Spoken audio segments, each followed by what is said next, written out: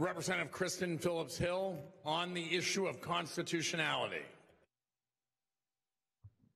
Thank you, Mr. Speaker. Mr. Speaker, to reiterate, the good gentleman from Tioga County, study after study is finding that babies born at 22 weeks can survive, and that is changing the abortion debate.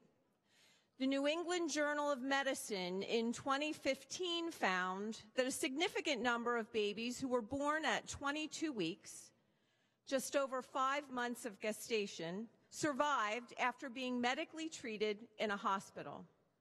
Previously, 22 weeks was considered too early to resuscitate a baby because survival rates were so low.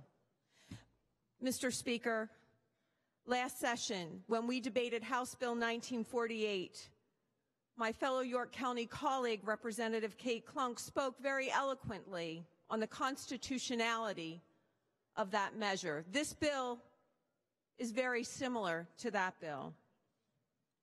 So, Mr. Speaker, I would urge the members to realize that this bill before us today is constitutional and to vote accordingly.